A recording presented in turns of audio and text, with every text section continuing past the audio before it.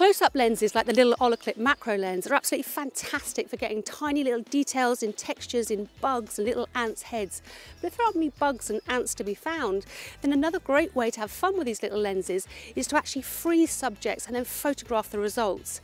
And these can make fabulous prints for your home as well. Adorama TV presents iPhoneography with Nikki Fitzgerald. Macro photography or close-up photography is absolutely wonderful for getting in close at those little details and textures that can't normally be seen with the human eye.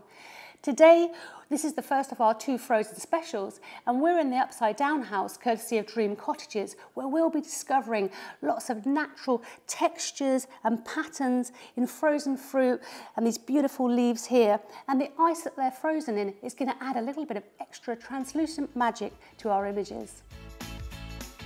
So I've got myself a great position here just by the window where there's lots of natural light. And I've got myself nice and comfortable. I've got a sturdy table. This is to keep our photograph nice and focused, not much wobble. I've got my uh, Gorilla Pod here, which I'm going to put my camera in. That's going to keep my camera nice and steady. We don't want any blur, particularly with macro photography, which is really easy to get when you've got that macro lens on. Now we've got the Olloclip lens here. Now this comes as a four-piece kit. We've got another macro lens, a 15 times, um, and this is great for getting tiny little details like an ant's head or a little spider, but we're going to use the 10 times because that's going to give more area, a larger area in focus, great for getting patterns and textures. So to get to that lens, we just need to reveal the uh, little 10 times by unscrewing the wide eye. Now it's really important that your lens is clean. So I've got my microfiber cloth here, really cheap, about a pound, and I'll just give that little wipe, and we can do the same with our iPhone camera as well, because that's to just make sure we get a really nice, super sharp shot. And then we're to attach that to the iPhone camera, simply clips on like that. Then we need to put the camera into the mount, just clip that in, avoid the shutter buttons on the bottom because then you'll start taking pictures automatically and we don't want that. And that's all set up, ready to go. Now I'm gonna just turn the phone on, I'm gonna swipe up to get the camera. Now I'm using the Apple camera, there's a really good reason for that, and that's because it's got these little filters in this little icon here with the three colors. If you have a look at that, that's got um, a great filter called Chrome, which is fantastic for um, the strawberry color. So let's have a look at our strawberry. Uh, we've got it here and the frost is forming on the top and it's looking absolutely fantastic. I need to get that a bit higher. For macro photography, you need to get your subject really close to the lens, about a, half a centimetre away. So that's, that's a good, good height. So that's nice and close. And we just need to find the pattern there. Look at that pattern. That's absolutely brilliant. That looks gorgeous. Those little pips are coming up and the frost is forming on the top. It looks absolutely beautiful. Now I'm going to be using the timer button on this. I'm going to set it for three seconds. Now what this does, it means I don't have to touch the lens. If I touch the lens, the camera might wobble. We need a sharp picture. So I'm happy with that. I'll click on the button. Three, two, one. It's taken the picture, it looks absolutely fabulous. Save straight down to the camera roll. I'm really happy with the top of that. Now there's another great thing we can do, and that's actually turn the strawberry upside down, and this is going to reveal another lot of pattern. We'll just turn that out, remove the glass, and then just stick that little stalk in there, and that'll act as a nice support. Now that's beautiful. Now what's happened here is it's exposed for the other photograph, so we probably just need to get that a little bit closer. I'm going to move my lens down a bit and there we can see some beautiful patterns, some shards of ice in there and that looks absolutely wonderful.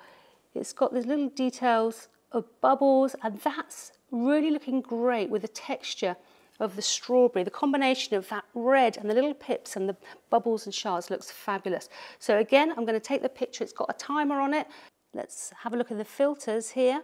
We've got a lovely selection of filters. The chrome works beautifully, really brings out the bubbles in that strawberry and the textures and the colour particularly. So I'm just going to click away. The camera will do the rest by itself. Leave that to take the picture. That looks fabulous. And this is what I love about macro photography.